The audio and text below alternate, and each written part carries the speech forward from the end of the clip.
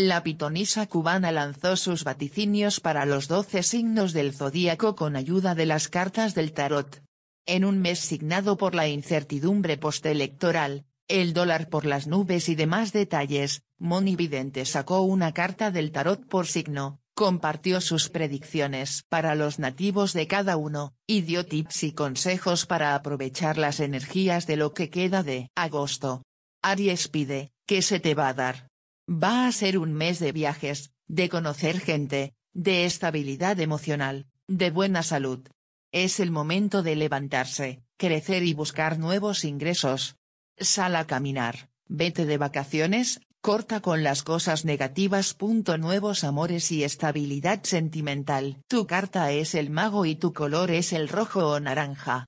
Tauro es un mes fundamental en cuestiones de seres queridos, familia y hogar. Cuida a tu familia y mantente saludable, porque habrá retos en cuestiones de trabajo y estudios. Te buscarán amores del pasado, pero eso ya no sirve. Va a ser un mes de cambios positivos. Tu carta es la torre y tu color es el blanco o naranja. Géminis va a ser un mes de abundancia, estabilidad y crecimiento. Te va a llegar ese dinero que estabas esperando. Tienes que empezar a quitarte pensamientos de venganza y coraje que no te dejaban avanzar. Habrá viajes por vacaciones y trabajo. Tu carta es el as de oros, y tu color es el azul o verde. Cáncer viene dinero, abundancia y suerte en cuestiones de lotería. Vas a empezar a salir de viaje constantemente. Llega una propuesta para cambiar de trabajo, ciudad o país. Acéptala que te va a ir muy bien. Te buscará un socio, te vas a reinventar en lo estético. Tu carta es el loco y tu color es el amarillo o rojo. Leo es tu mes de energía positiva, de reinventarte y empezar a dominar todo lo que está a tu alrededor. Te van a dar ese puesto que estabas deseando, vas a brillar y tener éxito. Aléjate de las personas negativas, tu carta es el emperador y tu color es el azul o rojo. Virgo va a ser un mes para brillar y realizarte económicamente o como persona. Quítate de los chismes, malos comentarios y personas que no te dejan nada bueno. Empieza a sanar tu mente y tu cuerpo. Vas a salir de viaje. Tu carta es el sol y tu color es el verde o amarillo. Libra va a ser un mes de mucho trabajo y mucho estrés, de ponerte al día en cuestiones laborales y volver a la escuela. Vas a poder resolver cualquier problema legal y reinventarte. Tu carta es el juicio y tu color es el amarillo o rojo. Escorpio poder, fuerza y determinación. Tienes la oportunidad de crecer, no la desaproveches. Llega un dinero extra que no esperabas.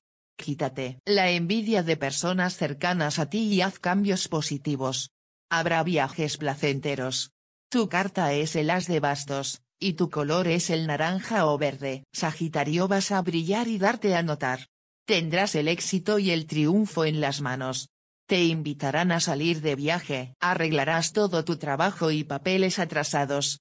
Llegan cambios positivos en cuestiones personales que te darán estabilidad y crecimiento. Tu carta es la estrella y tu color es el azul o naranja.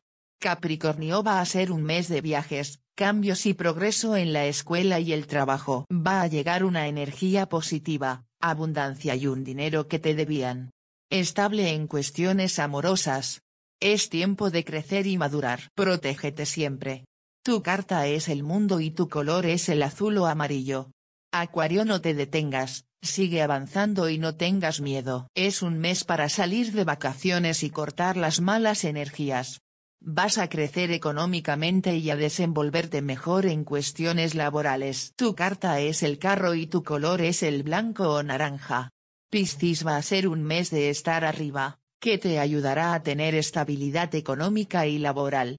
Te quitas esos lastres del pasado y el pensamiento de mediocridad, si puedes y si te lo mereces. Acuérdate que las parejas siempre son para construir y no para destruir.